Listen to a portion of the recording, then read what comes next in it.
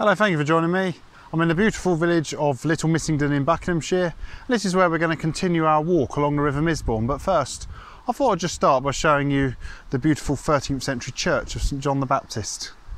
Not open today, unfortunately, but I have been inside. There's some amazing wall paintings which were only rediscovered in about 1931 and it's one of the churches where they sometimes do cream teas on a summer Sunday. So um, you know it is somewhere worth coming to visit. So what we're going to do, we're going to leave the churchyard and we're going to go and find the River Misbourne. Now, where I ended the last video, down at the end of the Missenden Abbey parkland, I said that the river becomes quite inaccessible. My next part I thought I probably would access the river would be Suffolk's Bridge, which is about half a mile down the lane that way. I've had a look. There isn't a lot to see, really. There's the bridge and there's a thick hedge, so you can hardly see the river. So I thought what we'll do, we'll re-pick up the river by going down this public footpath just here, and that's where we shall be able to find the River Misbourne. Just let you have another beautiful look at the church. We'll find the River Misbourne and then we'll continue following it where we can and we'll eventually end up in Amersham and carry on through the Chalfont. So come down this footpath here into this field. I can see the bypass, the same bypass we saw in part one in Great Missenden, the one that allegedly broke a tunnel. Um, so that was the old road, the old A413, which runs from London all the way up to Buckingham now I can I can get some glimpses of the river in there but that's someone's garden um, so what I think must happen the river currently is over there we might be able to see up here it sort of looks like it kind of does a big meander around here like this so um, bear with me I shall show it to you in a moment that's interesting. Now I can't see any river at all. Maybe what I could see over there was a pond or a spring. So if anyone knows, there appears to be some water behind the church. If that is or isn't part of the River Misbourne, oh, there goes the church bells. Please comment, let me know. Well, here we are. Here definitely is the River Misbourne. And it seems to have already, since Great Missenden, it's got quite a lot bigger.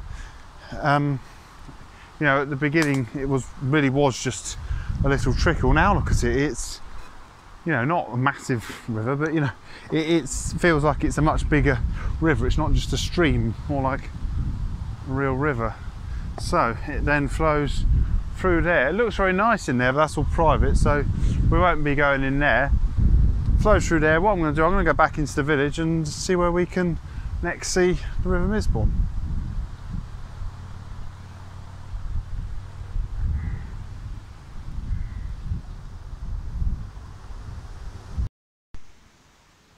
So here we are in the centre of Little Missenden.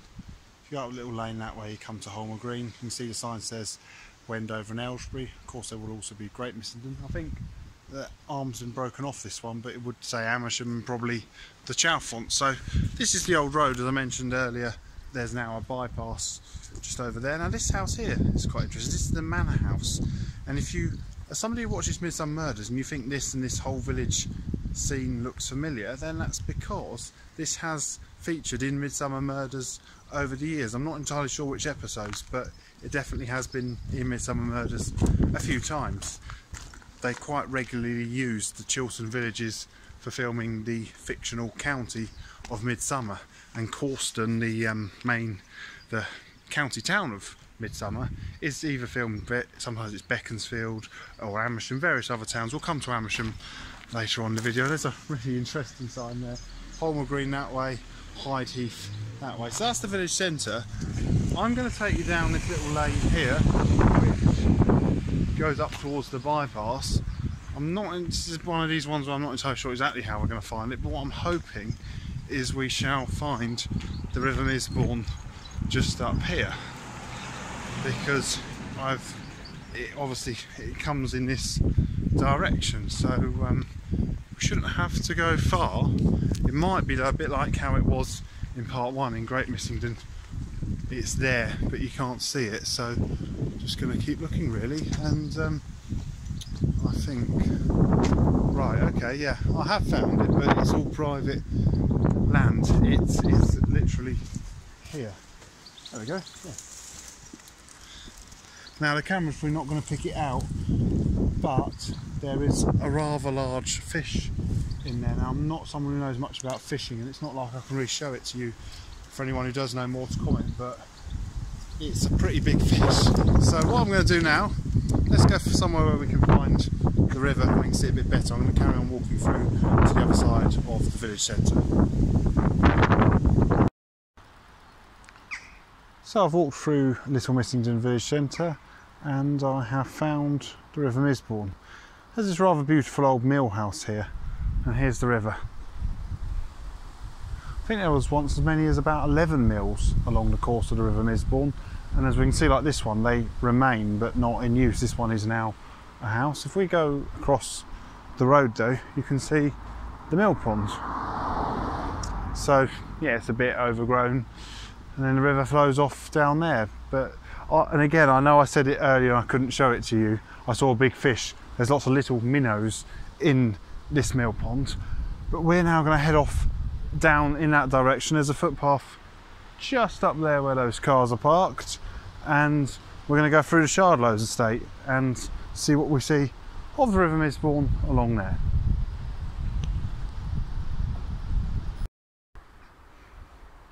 So I'm now walking along this path from Little Missenden towards Amersham.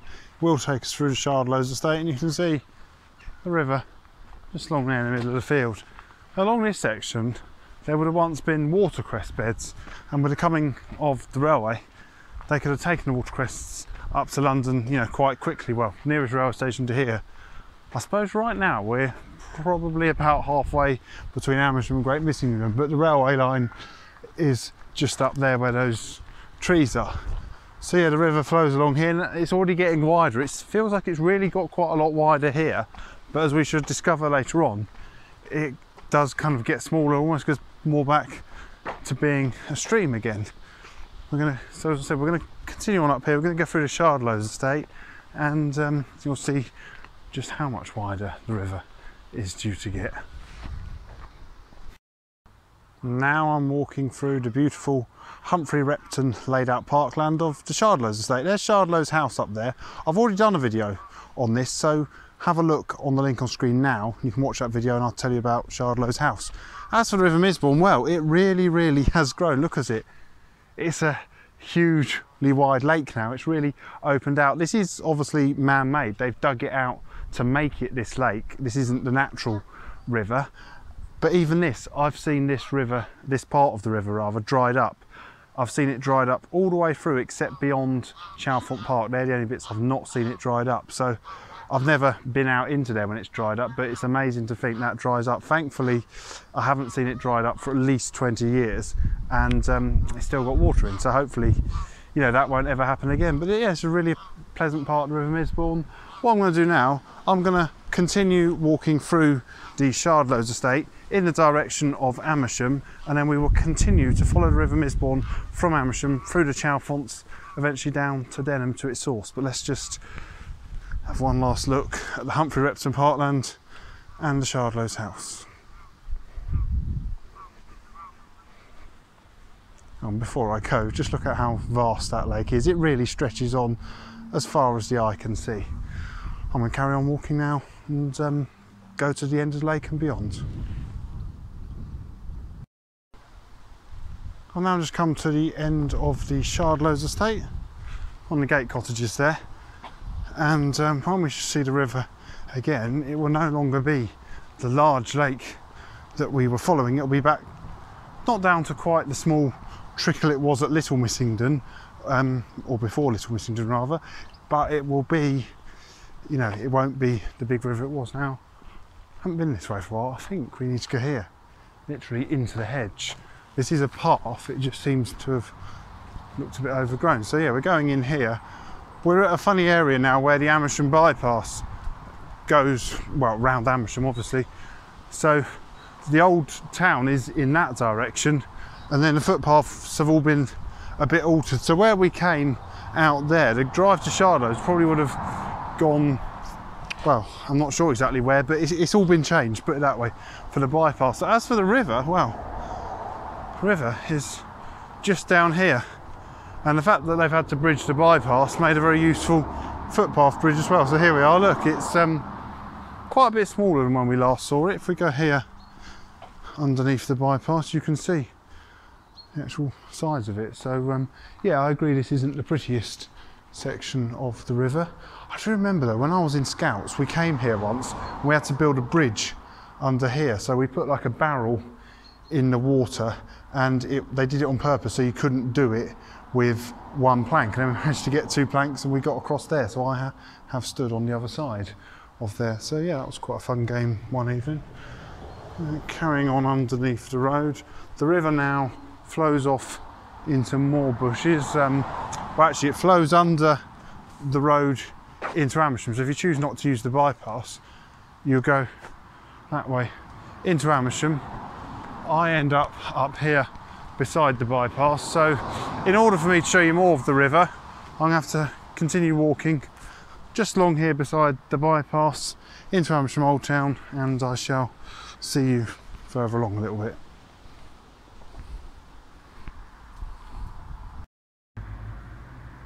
So I have now made it to Amersham Old Town. I'm just going to let you have a quick look. They are down the beautiful High Street now.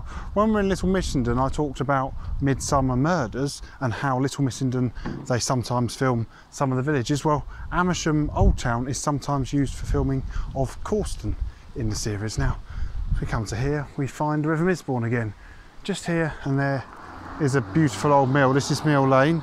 So you can see the mill and here the river emerges from underneath the mill and flows off down there behind these cottages. So what we'll do, let's just go and have a look. We can follow it down, it goes into a park and um, we shall keep going, following it right through. There's some really beautiful parts of the river in Old Amersham. So I'm going to go down this path here and show you a bit more of River Misbourne as we go.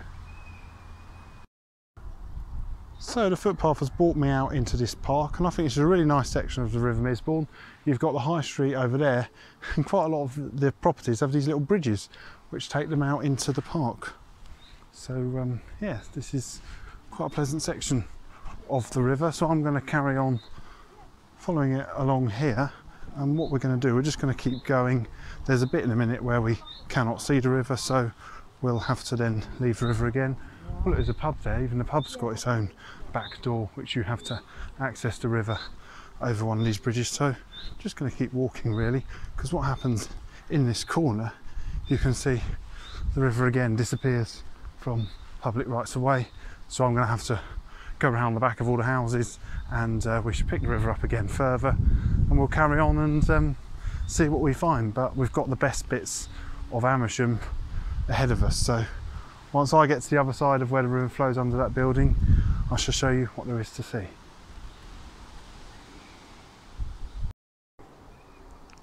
So from the park I was in, I've just come for a little walk around the housing estate and I've come down this way here. It comes to a place called Ponswick Meadow, it says on that stone there. It says it's a community orchard and nature area. So this must be where we shall find the Misbourne again. Now, you can see some of these old mill houses. I think these are possibly old maltings. I could see them from where we were.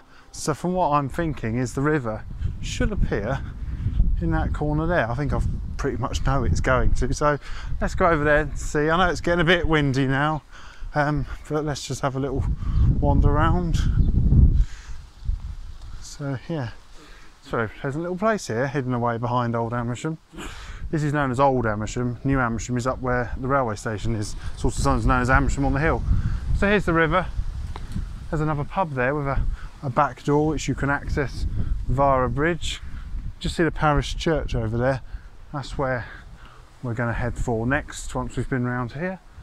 I love how some people got like a little gate and it says private and that's, you know, that's their back entrance to their property, which I think is a really nice way of you know, accessing your property. I'd love that to have a little bridge.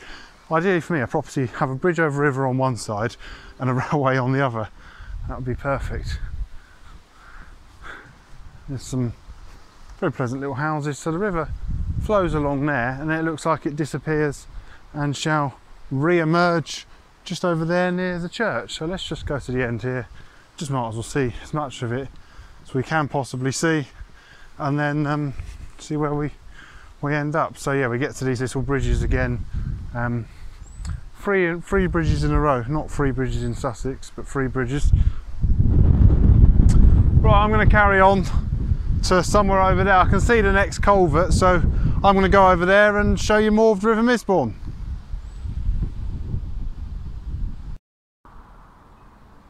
I'm now making my way back towards Amersham town centre. The Misbourne is somewhere below the road here. So the main high street is just over there. Here is the parish church.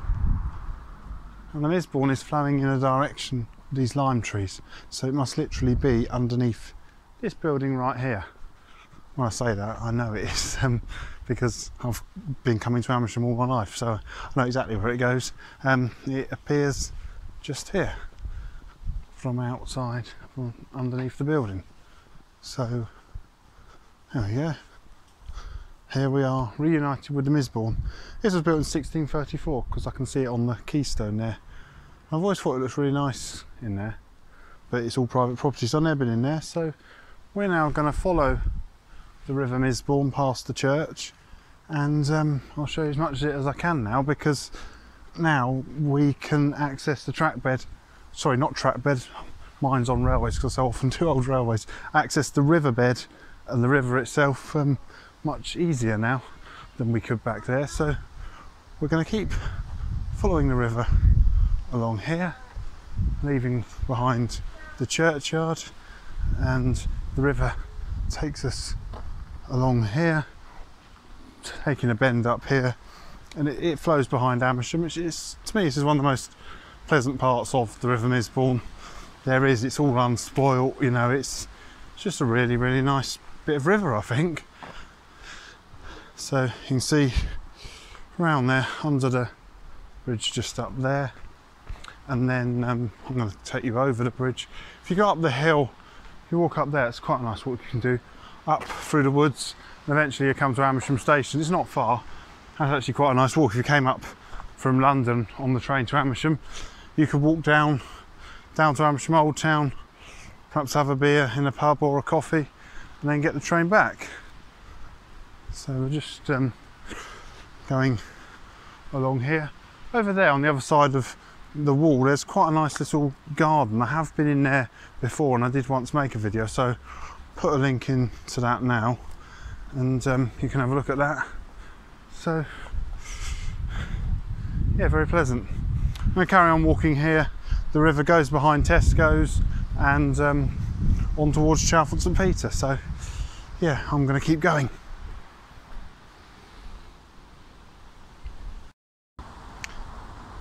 So the River Misbourne has now flown along behind Tesco's and beside the car park, which is just over there. You can just see the Tesco's car park through here.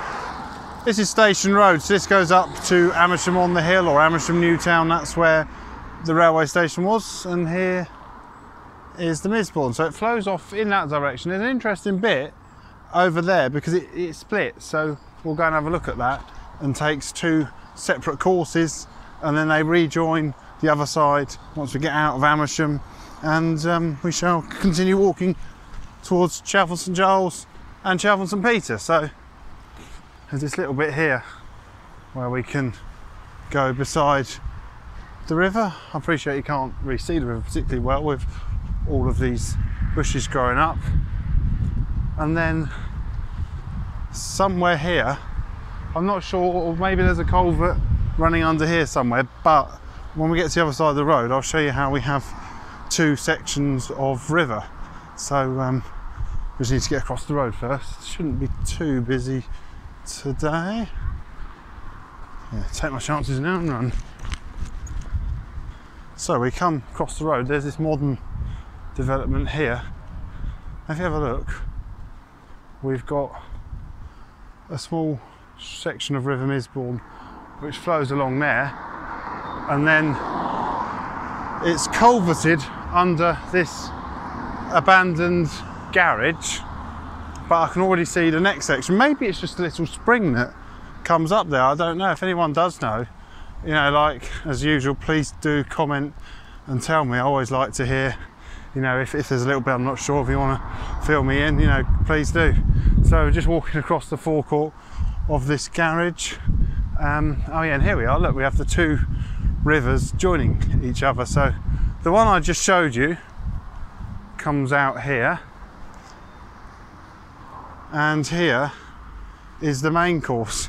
Look how low the actual arches, I don't know if you can see the brick arches are. It seems, I mean, this is really high. This is the highest I've seen the Misbourne for quite a long time. So I'm going to walk down to this willow here where the two courses, even though the other one's quite overgrown, the two courses converge. I've got to then cross the river because I'm going to go up that footpath over there where that gate is and um, we shall carry on we'll get outside Amersham bypass and that's where I'll finish the Amersham section of the River Misbourne video.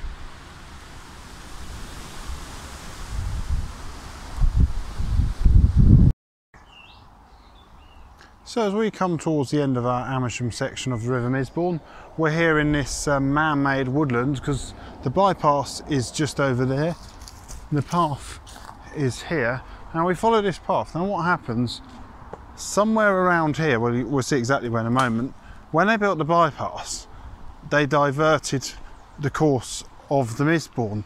And when it was drying up in Chalfont St Peter for sometimes a few years on end, they say it seems to be since they built the bypass. So, you know, it seems there is some correlation there that you'd quite often see it flowing in Amersham, but then it would dry up beyond there. But then there have been times where it has dried up before they built the bypass and the fact that chalk streams naturally do dry up I'm not sure really whether the bypass has affected the river or not but they say it has but about here I appreciate you can't see the river very well but the river takes a sudden kink like that which is no longer its natural course to go underneath the bypass now a bit like on the other side of Amersham they've used it as an opportunity to put a public footpath through but the bypass at the other side, I don't think they actually altered the flow of the river here.